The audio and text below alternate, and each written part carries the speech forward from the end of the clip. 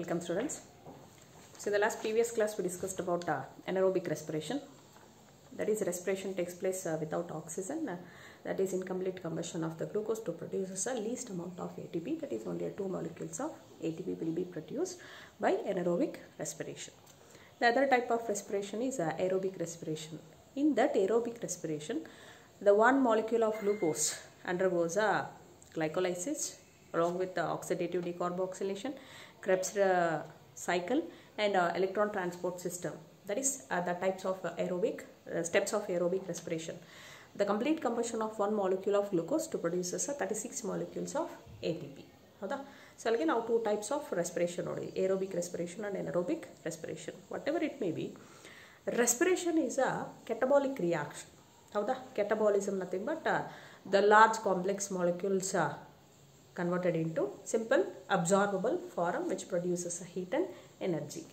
But ಇಲ್ಲಿ respiration ಅಂತ ತೊಗೊಂಡಾಗ it is not only a catabolic reaction it is also a type of anabolic reaction ಅಂತಲೂ ಕರಿತೀವಿ. ಯಾಕೆಂದರೆ ಈಗ ಕೆಟಬಾಲಿಕ್ ರಿಯಾಕ್ಷನ್ ಅಂತ ಏನು ನೋಡ್ತೀವಿ? ಕೆಟಬಾಲಿಸಮ್ ಅಂದರೆ ಏನಾಗ್ತಾ ಇದೆ? The large complex molecule glucose ಏನಾಗ್ತಾ ಇದೆ? ಸೀಕ್ವೆನ್ಷಿಯಲ್ ಸೆಟ್ಸಲ್ಲಿ ಡಿವೈಡ್ ಆಗಿ ಪೈರುವಿಕ್ ಆ್ಯಸಿಡ್ ಆಗಿ ಫಾರ್ಮೇಷನ್ ಆಗುತ್ತೆ ಇಲ್ಲಿ ಗ್ಲೈಕೋಲೈಸಿಸಲ್ಲಿ ಹೌದಾ? ಅದೇ ಪೈರುವಿಕ್ ಆ್ಯಸಿಡ್ ಇಲ್ಲಿ ಏನು ಸ್ಟೆಪ್ಸು ಬ್ರೇಕ್ ಡೌನ್ ಆಗ್ತಾ ಬರ್ತಾ ಇದೆ, ಅದು ರಿವರ್ಸ್ ರಿಯಾಕ್ಷನ್ ಅಂತ ಹೋದರೆ ಮತ್ತೆ ಗ್ಲೂಕೋಸ್ ಫಾರ್ಮೇಷನ್ ಆಗ್ತಾ ಬರುತ್ತೆ ತಾನೆ. ಸೊ ಹಂಗಾಗಿ ಇದು ಬೋತ್ ಬೈ ಕೆಟಬಾಲಿಸಮಲ್ಲೂ ಕ್ಯಾರಿ ಆಗ್ತಾ ಇದೆ ಆ್ಯಂಡ್ ಅನಬಾಲಿಸಮಲ್ಲೂ ಕ್ಯಾರಿ ಆಗ್ತಾ ಇದೆ. Hence it is called as amphibolic pathway ಅಂತ ಕರಿತೀವಿ. ಆಂಫಿ ಮೀನ್ಸ್ ಬೋತ್ ಗೊತ್ತಾಗ್ತಾ ಇದೆಯಾ? Respiration is a amphibolic pathway so ಅದನ್ನು ನಾವು ಈ ಕ್ಲಾಸಲ್ಲಿ ನೋಡ್ತಾ ಹೋಗ್ತೀವಿ. So respiration is amphibolic pathway. What is amphibolic pathway? What is the meaning of amphi? Amphi nothing but a both are dual ಅಂತ ಹೇಳ್ತೀವಿ ಆಂಫಿ ಅಂದರೆ ಬೋತ್ ಆರ್ ಡಿಯಲ್ ಬೋತ್ ಅಂದರೆ ಯಾವುದು Either it is catabolism or anabolism ಅಲ್ಲ, ಎರಡೂ ಒಂದು ಒಂದು, ಎರಡರಲ್ಲಿ ಒಂದಲ್ಲ. ಕ್ಯಾಟಬಾಲಿಸಮಲ್ಲೂ ಕ್ಯಾರಿ ಆಗುತ್ತೆ ಅನಬಾಲಿಸಮಲ್ಲೂ ಕೂಡ ಕ್ಯಾರಿ ಆಗುತ್ತೆ. ಹಾಗಾಗಿ ಅದನ್ನು amphibolic nothing but metabolic reactions ಅಂತ ಹೇಳ್ತೀವಿ. Metabolism nothing but the total sum of chemical reactions takes place in the living organism or the cell ಅಲ್ಲಿಗೆ ಒಂದು ಸೆಲ್ಲಲ್ಲಿ ಅಥವಾ ಒಂದು ಕಂಪ್ಲೀಟ್ ಆರ್ಗ್ಯಾನಿಸಮಲ್ಲಿ ಏನು ಟೋಟಲ್ ಕೆಮಿಕಲ್ ರಿಯಾಕ್ಷನ್ಸ್ ಕ್ಯಾರಿ ಆಗುತ್ತೋ ಅದಕ್ಕೆ ಕಾಲೆಸ್ ಮೆಟಬಾಲಿಸಮ್ ಹೌದಾ? ಅಲ್ಲಿಗೆ ಎರಡೂ ಮೆಟಬಾಲಿಕ್ ರಿಯಾಕ್ಷನ್ಸಲ್ಲೂ ಕ್ಯಾರಿ ಆಗ್ತಾ ಇದೆ. ಯಾವುದು? ಕೆಟಬಾಲಿಸಮಲ್ಲೂ ನಡೀತಾ ಇದೆ. ಈವನ್ ಇನ್ ಅನಬಾಲಿಸಮಲ್ಲೂ ನಡೀತಾ ಇದೆ. Hence it is called as amphibolic pathway ಅಂತ ಕರಿತೀವಿ. ಯಾವುದನ್ನ ರೆಸ್ಪಿರೇಷನ್ ಸೊ ಹಾಗಾದರೆ respiration nothing but biological oxidation of the respiratory substrate ಅಲ್ಲೇನಾಗ್ತಾ ಇದೆ? ರೆಸ್ಪಿರೇಟರಿ ಸಬ್ಸ್ಟ್ರೇಟ್ ಅಂತ ನೋಡ್ತೀವಿ. Which are the respiratory substrates ಹಂಗಾದರೆ ಎನರ್ಜಿನ ಪ್ರೊಡ್ಯೂಸ್ ಮಾಡೋ ಸಬ್ಸ್ಟ್ರೇಟ್ಸ್ ಯಾವ್ಯಾವನ್ನ ನಾವು ಯಾವ್ಯಾವ ಎನರ್ಜಿನ ಪಡ್ಕೊಳ್ಳಿಕ್ಕೆ ಯಾವ್ಯಾವ ಫುಡ್ನ ಕನ್ಸಂಪ್ಷನ್ ಮಾಡ್ತೀವೋ ಅದೆಲ್ಲವೂ ಕೂಡ ಎನರ್ಜಿ ಸಬ್ಸ್ಟ್ರೇಟ್ಸ್ ಸೊ ಹಂಗಾದ್ರೆ ನಾವು ತೊಗೊಳ್ತಕ್ಕಂಥ ಬ್ಯಾಲೆನ್ಸ್ಡ್ ಡಯೆಟ್ ಅಂತ ಏನು ಹೇಳ್ತೀವಿ? ಡಯೆಟಲ್ಲಿ ಕಾರ್ಬೋಹೈಡ್ರೇಟ್ಸ್ ಇರುತ್ತೆ ಪ್ರೋಟೀನ್ಸ್ ಪ್ರೆಸೆಂಟ್ ಇರುತ್ತೆ ಲಿಪಿಡ್ಸ್ ಇರುತ್ತೆ ವಾಟರು ಮಿನರಲ್ಸ್ ಆ್ಯಂಡ್ ವೈಟಮಿನ್ಸ್ ಇವೆಲ್ಲ ಕೂಡ ಅಲಾಂಗ್ ವಿತ್ ರಫೇಜಸ್ ಕೂಡ ಪ್ರೆಸೆಂಟ್ ಇರುತ್ತೆ. ಇಷ್ಟೆಲ್ಲ ಇದ್ರೂ ಕೂಡ ಎಲ್ಲ ಕೂಡ ರೆಸ್ಪಿರೇಟರಿ ಸಬ್ಸ್ಟ್ರೇಟ್ಸ್ ಅಲ್ಲ. ಹೌದಾ? ಆ ರೆಸ್ಪಿರೇಟರಿ ಸಬ್ಸ್ಟ್ರೇಟ್ಸ್ ಅಂತ ತಗೊಂಡಾಗ, ಈಗ ರೆಸ್ಪಿರೇಟರಿ ಸಬ್ಸ್ಟ್ರೇಟ್ಸಲ್ಲಿ ನಾವು ಕೆಲವು ಕಾಂಪೋನೆಂಟ್ಸ್ನ ಮಾತ್ರ ನೋಡ್ತೀವಿ. ಯಾವ್ಯಾವುದು? ಒನ್ ಈಸ್ ಕಾರ್ಬೋಹೈಡ್ರೇಟ್ಸ್ ಆಗಿರ್ಬೋದು, ಅಥವಾ ಪ್ರೋಟೀನ್ಸ್ ಆಗಿರ್ಬೋದು, ಅಥವಾ ಲಿಪಿಡ್ಸ್ ಆಗಿರ್ಬೋದು. ಇವುಗಳನ್ನ ನಾವು ರೆಸ್ಪಿರೇಟರಿ ಸಬ್ಸ್ಟ್ರೇಟ್ಸ್ ಅಂತ ಹೇಳ್ತೀವಿ. ಬಿಕಾಸ್ ಯಾಕಂದರೆ they undergoes respiration that is aerobic respiration ಆಗಿರ್ಬೋದು ಅಥವಾ ಏರೋಬಿಕ್ ರೆಸ್ಪಿರೇಷನ್ ಆಗಿ ಏನಾಗುತ್ತೆ?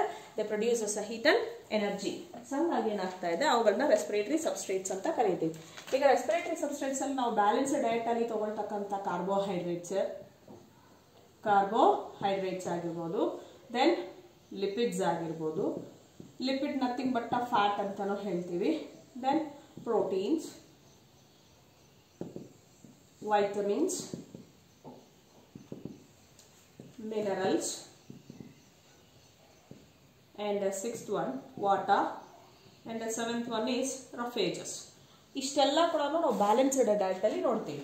ಇಷ್ಟೆಲ್ಲ ಬ್ಯಾಲೆನ್ಸ್ಡ್ ಡಯಟಲ್ಲಿ ಇದ್ರೂ ಇವೆಲ್ಲ ಕೂಡ ಏನಾಗುತ್ತೆ? ಡೈರೆಕ್ಟ್ ಆಗಿ ಎನರ್ಜಿನ ರಿಲೀಸ್ ಮಾಡದೆ ಅಸಿಮಿಲೇಟ್ ಆಗ್ತಾ ಹೋಗುತ್ತೆ. ಅಂದರೆ ಆ್ಯಂಡ್ ಬಾಡಿ ಕನ್ಸಂಪ್ಷನ್ ಆಗ್ತಾ ಹೋಗುತ್ತೆ. ಹಾಗಾದರೆ carbo carbohydrates lipids fat proteins ಏನಿದೆ, ಈ ಮೂರನ್ನ ಮಾತ್ರ ನಾವು ರೆಸ್ಪಿರೇಟರಿ ಸಬ್ಸ್ಟ್ರೇಟ್ಸ್ ಅಂತ ಕರಿತೀವಿ. ರೆಸ್ಪಿರೇಟರಿ ಸಬ್ಸ್ಟ್ರೇಟ್ಸ್ ಹಾಗಾದರೆ ಸಬ್ಸ್ಟ್ರೇಟ್ ಮತ್ತು ಮಟ್ಟ ದ ಸಬ್ಸ್ಟೆನ್ಸ್ ಏನು ರೆಸ್ಪಿರೇಟರಿ ಸಬ್ಸ್ಟ್ರೇಟ್ ಅಂದರೆ? The substrates which undergoes a respiration to produce as a heat and energy that is biological oxidation ಅಂತ ಹೇಳ್ತೀವಿ. ಆ ಬಯೋಲಾಜಿಕಲ್ ಆಕ್ಸಿಡೇಷನ್ಗೆ ಹೋಗಿ ಹೀಟ್ ಅಂಡ್ ಎನರ್ಜಿನ ರಿಲೀಸ್ ಮಾಡಿದ್ರೆ, ಅಂದರೆ ಏನಾಗ್ತಾ ಇದೆ ಇಲ್ಲಿ? ಹೀಟ್ ಫಾರ್ಮೇಷನ್ ಆಗುತ್ತೆ. Plus energy in the form of A T P along with it releases a carbon dioxide ಹೌದಲ್ವಾ?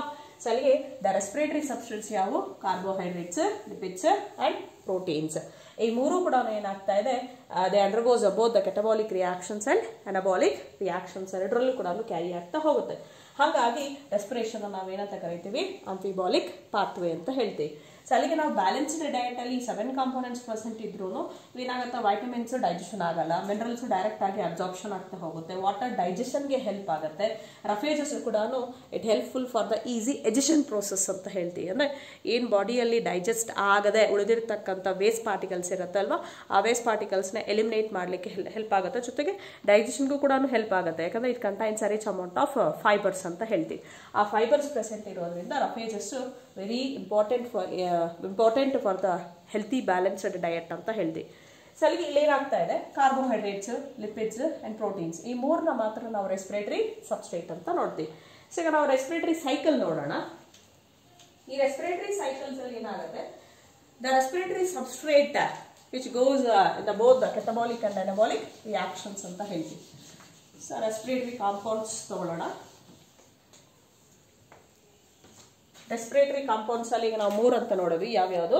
ಕಾರ್ಬೋಹೈಡ್ರೇಟ್ಸ್ ರೆಸ್ಪಿರೇಟರಿ ಕಾರ್ಬೋನ್ಸ್ ಕಾಂಪೌಂಡ್ಸ್ ಅಲ್ಲಿ ಫಸ್ಟ್ ಒನ್ ಕಾರ್ಬೋಹೈಡ್ರೇಟ್ಸ್ ಕಾರ್ಬೋಹೈಡ್ರೇಟ್ಸ್ ಇರುತ್ತೆ.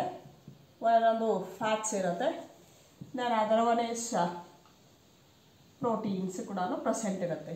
ಕಾರ್ಬೋಹೈಡ್ರೇಟ್ಸ್ ಅಂತ ತಗೊಂಡಾಗ ಅದೇ undergoes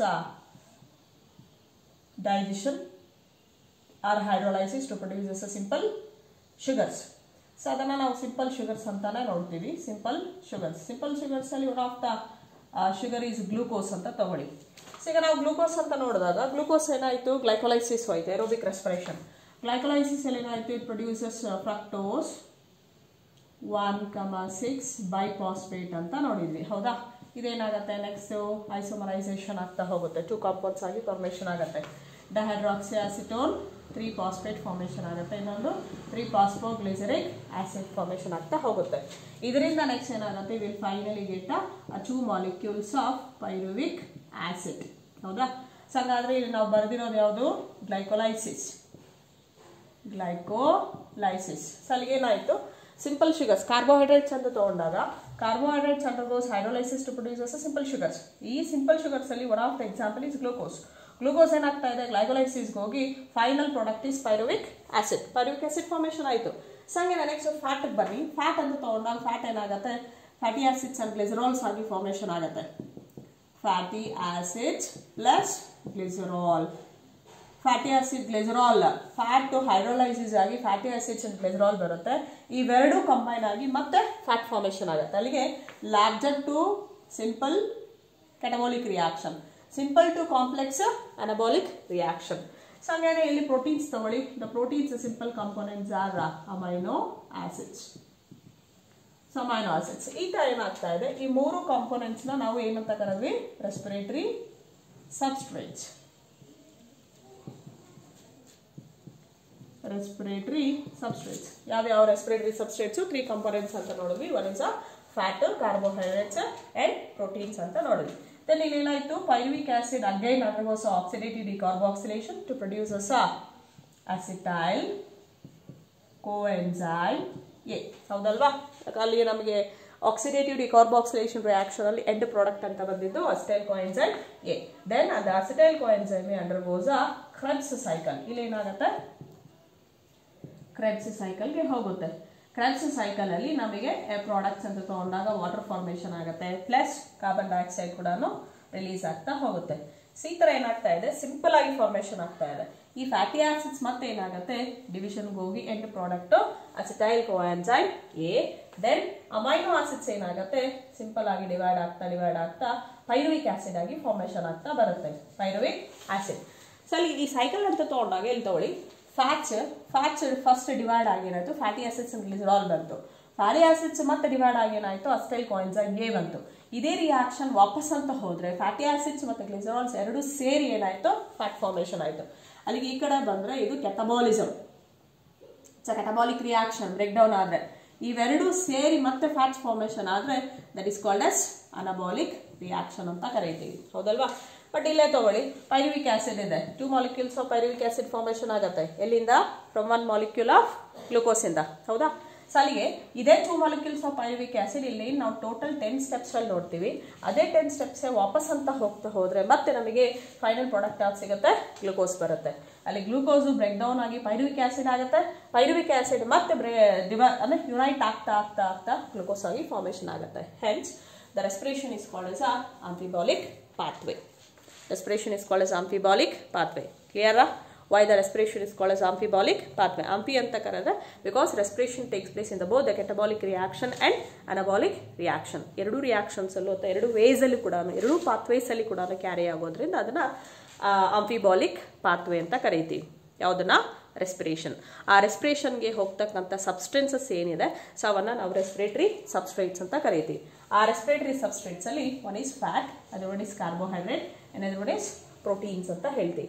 ಈ ಮೂರು ಕೂಡ the major respiratory substrates the undergoes a biological oxidation which produces a heat and energy maximum ಆಗಿ ಬಾಡಿಗೆ ರಿಕ್ವೈರ್ ಇರ್ತಕ್ಕಂಥ ಎನರ್ಜಿನ ಪ್ರೊಡ್ಯೂಸ್ ಮಾಡ್ತಕ್ಕಂಥ major compounds are fats carbohydrates ಮತ್ತು ಪ್ರೋಟೀನ್ಸ್ ಅದು ಬಿಟ್ಟು ನಾವು ಏನು ನೋಡಿದ್ವಿ? Vitamins minerals water and roughages ಅಂತ ಏನು ನೋಡಿದ್ವಿ?